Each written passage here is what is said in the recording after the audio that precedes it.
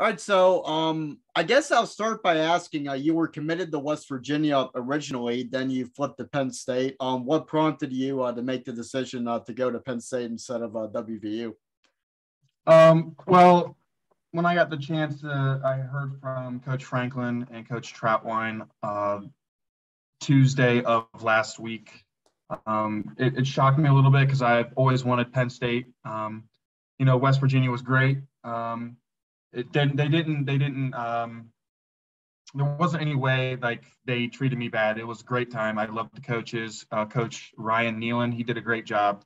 Um, I just felt that at Penn State, um, I could see myself in the future playing there. I felt like I fit the system. You know, I I built this, or I could see this bond being built between uh, myself and Coach Trautwein.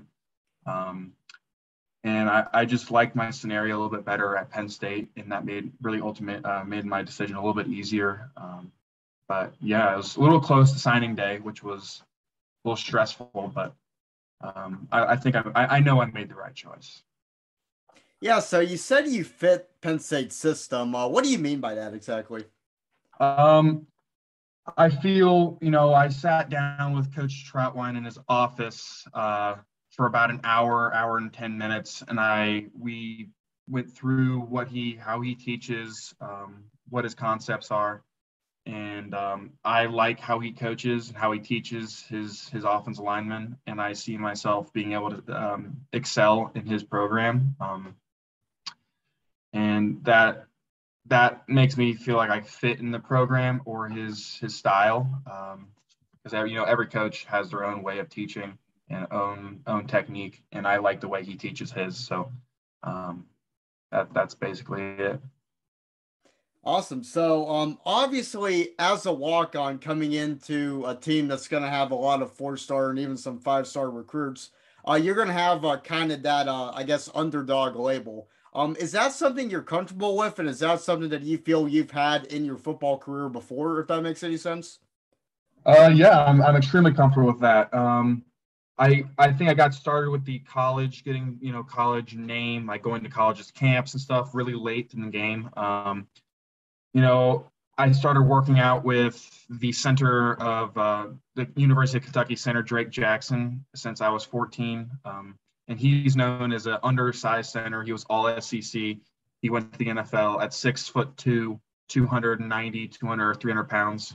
Um, I learned from him that it doesn't matter what your size or what your status is, as long as you're willing to go in and work, you can make a name for yourself. And um, as a preferred walk on, I'll, I, am going to have to work, and that's all I know what to do. You know, I started in Kentucky. Um, I got this opportunity at a great school, Taft. Um, but knowing that I've never been in the Northeast that far, I don't know anybody there. I knew I had to go in, and I had to work for my name. And uh, I ended up, you know, finishing with um, all NEPSAC, which was a great accomplishment. But um, you know, all I've known is how to work, um, and I'm excited for for what's to come at Penn State, and I'm ready to ready to work. All right, awesome. So, uh, Coach Trautwein, obviously, you talked about him earlier. Um, he had uh, a pretty respectable college career playing at Florida, being on a national championship team uh, with Tim Tebow and Urban Meyer. So, how much do you think his success as a player in playing the offensive line uh, could help you down the road, being that he knows obviously what it's like to play at a high profile college football program like Florida and be successful there. Um, yeah, I, I think you know his background. You know, he's a young coach. He's been in everybody's everybody that's in this room. He's been in the same same place. Um, being in this high level program, I think it just helps the bond with the players a little bit more. Um, knowing that he's been through the highs and the lows of a college team, and he knows how to fight the adversity. Um, but also, I think he's, you know, being younger, he's able to build this this better bond because um, he's a little bit he's more knowledgeable about what's going on in the like younger ages. But I I, I think Coach Trout is a uh, is a great coach. What I've known him, and I've been to camp with him, and I've learned already some from him and I'm really excited to be with him and everybody else in the room. And I can't wait for summer ball. Awesome. So, uh, how much have you uh, communicated with uh, Coach Franklin? Uh, with Coach Franklin, you know, when I met Coach Stacy Collins on last or last Tuesday, um, literally Thursday morning, he followed me on Twitter and he um, hit me up. And since then, uh, I've been in almost constant contact with him, uh, basically every single day. You know, today was his birthday, and I wished him happy birthday, and he immediately got back to me. Um, and the same goes with Coach Trautwein. Always constant communication. You know, quick with responding. Um, they communicate very well. Yeah, so um, I was looking through your 24 7 page a little bit. Um, I saw that Columbia was on your list of colleges. So I take it from that that you do pretty well um, on the academic side, being yes. that you were eyeing up the Ivy League, um, I guess you could say. Yes, yes. Um, academically, I go to this this top 10 academic school, private school in the country. And, you know, it's schooling isn't easy there. So it kind of gives me a, a, leg up on some of these, uh, the college aspect of schooling. Um, uh, I, yeah, I'm Ivy League was great up until the point where um, I I wanted more. I wanted to prove myself a little bit more, and I wanted to play at the highest level I could. And uh, yeah, that's what brought me to West Virginia originally, and now Penn State. How much do you think Penn State's reputation for academic success within the football team, going way back decades with uh, the whole obviously the success uh, with honor motto. Um, being that you uh, do very well academically, how much did that kind of play into your decision to go to Penn State, being that it has a good reputation for academics um, and athletics mixed together? It was a it was like one of the top things I was I was considering because I'm getting into physical therapy, kinesiology, and having that um, that that master's program that is really respected in the nation like it just makes me feel like you know, getting this degree, it'll be able to hold up when getting a job because they're like, oh, Penn State, he he learned from the best, so he can get you can have this like this job is a little easier to get. Um, and you know the athletic side, you know, I've been a Penn State fan basically my whole life, so I I know that we could win we could win a championship at Penn State. We just got to be able to work together and you know get go get that. So, yeah.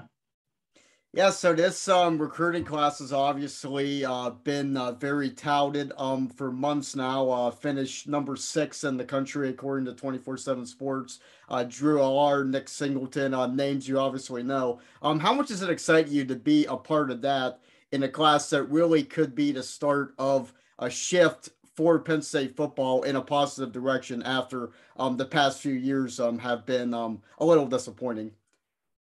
Um, it's really exciting. It's really exciting. Uh, being able to, you know, play in the Big Ten and finally, you know, be at the top again. Um, I think it was 2017 or 2016 was the last Big Ten championship, and I, with this class, I, I think we could win, you know, two, two or three more Big Ten championships, possibly getting in the college playoffs, and you know, see if we can go all the way. Yeah, so you said you've been a Penn State fan uh, lifelong. Uh, what are some of your memories um, just of the program uh, growing up watching it as a fan? Um, you know, I remember, you know, 2011, 2010 when Coach Paterno, when he was put down as a head coach, you know, that was one of my biggest memories because that's when it really started and really understanding Penn State's program. Um, and then going from there, I was able to have a chance to go to the Big Ten championship that I mentioned against uh, what was it, Wisconsin, mm. um, in Lucas Oil uh, Stadium. Uh, that was another one of the biggest memories I have of Penn State football. But you know, just watching um, Coach Bill O'Brien up to uh, Coach Franklin, just growing in the Penn State program and just seeing how they they react to what happened in their the downfall of you know Coach Paterno's career. Yeah. So, uh, how many times have you been uh, in Beaver Stadium? I actually haven't been able to because when oh, okay. uh, you know playing football, I went from playing Fridays and I living eight nine hours away. You know, playing a Friday night game, then getting up to having to go maybe a noon game or it didn't really add up. And then when I went to mm-hmm. Taft, I play on Saturdays, so I never got to go to a game on my Saturday schedule there. So I haven't been. You know, I've watched a ton of games but um, I've been on my visit on Sunday. was my first time stepping into the stadium, and it was amazing. Beaver Stadium's gorgeous. Yeah, so um, obviously a dream of yours uh, would be to uh, end up becoming a star at Penn State, then play in the NFL. If it doesn't happen that way, if you kind of leave football behind after college, uh, what are some things you could see yourself uh, doing um, after school um, to further yourself? Um, you know, physical therapy, like I mentioned before, that's going to be a big thing in sports medicine. You know, be be able to like give back to players who are trying to do the same thing I was trying to, um, getting be able to get back on the field and continue their dreams of possibly getting to whatever highest level they want to get to. Um, yeah, that's that's what I really want to do.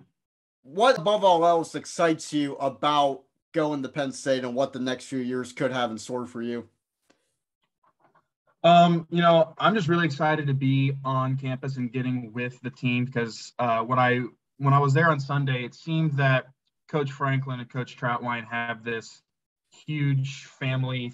Like, family is a big thing in, in Penn State football, and um, just being a part of this like brotherhood that it builds, and having like lifelong lifelong teammates and possible like uh, just the alumni it's all it all just seems to match up with me, and uh, I'm just, just really excites me to be on campus and be a part of that traditions.